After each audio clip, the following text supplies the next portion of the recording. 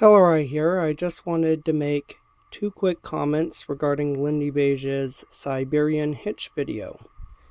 The first being, the way I had learned it, the simplest knot was actually just that right there.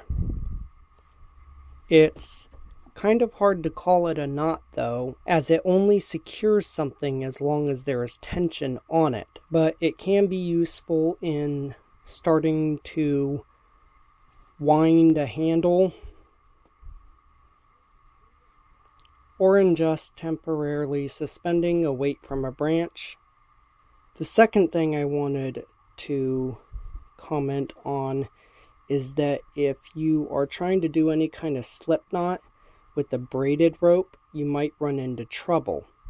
Sometimes when you pull on a braided rope, what ends up happening is it won't pass through that final part or it takes a lot of force to and you can even scrunch the knot up so tight that you need an owl or something to actually free it back up.